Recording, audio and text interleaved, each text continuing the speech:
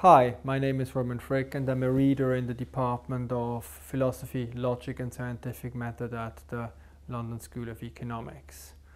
My work centers around problems in the philosophy of physics as well as a general philosophy of science and today I want to tell you something about the new exciting research project I am I'm involved in. The project is concerned with climate modeling and the aim of those models is to forecast the climate 50 or 100 years from now. And the philosophical questions are how good are these models, what do they do for us, and are they really fit for the purpose for which they were designed. But before turning to climate models, I want to say something about the philosophical motivations for this project. Science constructs models and theories to represent selected aspects or parts of the world.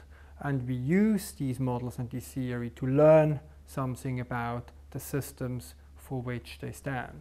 For instance, when we want to investigate the solar system, we construct a model of the solar system that represents the solar system.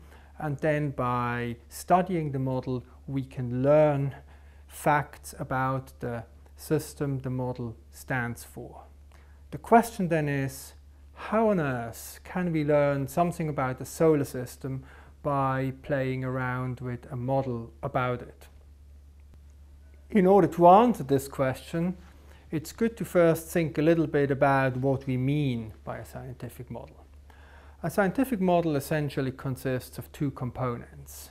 First, there is a fictional scenario when Newton modeled the solar system, he assumed that both the Sun and the Earth were perfect spheres, and he assumed that gravitational interaction would only take place between the Sun and the Earth and no other um, objects in the solar system. Now we know that these assumptions are not literally true, or to use some jargon, we know that the model we have has model error. The second element in a model is a mathematical formalism. So you use equations of motion to describe the entities in the model and to derive strict mathematical conclusions. So the question then becomes, how can a fictional scenario and a bunch of equations be used to instruct us about properties of something in the real world, in our example the solar system? And the answer that emerged in the wake of Newtonian physics is, roughly speaking, something like the following. So if the assumptions we make in the fictional scenario are only a little bit off, then the conclusions we draw from our models are also a little bit off. More specifically, we modeled the sun as being spherical. Now the real sun is not spherical, but it's close to spherical and the same goes for the Earth. And for this reason we can assume that the results we derive in the model also hold true of the solar system and this assumption is in fact confirmed by astronomical observation. This method of modeling has worked very well and is widely used in many contexts and more to the point, many climate scientists still use it today in trying to model the climate of the Earth. Now, unfortunately, and that's the first insight of the project, this cannot be done.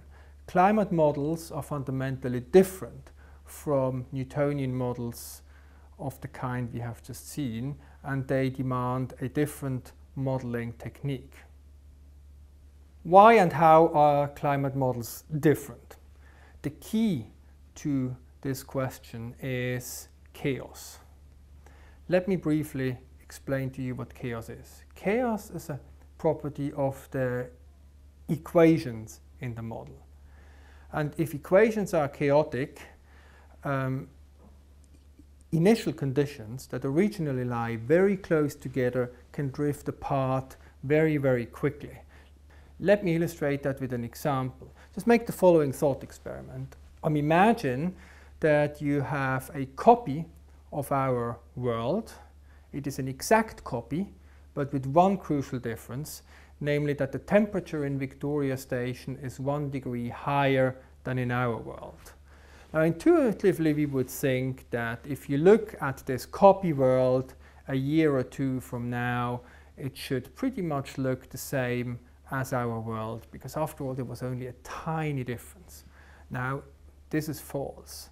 This copy world can be very very different. For instance in the copy world you could have had a huge thunderstorm that would never have occurred in our world here. So small differences can have huge effects. Well, now comes the punchline. The Newtonian way of modeling systems does not work if the system's equations are chaotic. If the equations are chaotic and you have only a little bit of model error in your model, then the real system and the model can behave in completely different ways and what you derive from the model need not at all hold true in the real system. Now, climate models, they are chaotic, so they do have these properties. And if we have model error in climate models, they fall prey of that problem.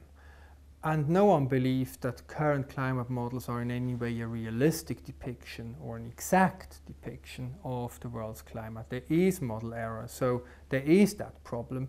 And we can't simply use the Newtonian like for like rule, as you wish, um, to extrapolate findings in the model to the real world. I suppose that you would now like to know what other modeling strategy there is if we can't use the Newtonian one. And unfortunately, I have to disappoint you here. As of now, we don't know. That's exactly the question we're worrying about at the moment. That's a subject of ongoing research I'm working on this question together with the climate modeling group here at the LSE and we hope to report something on that in the future.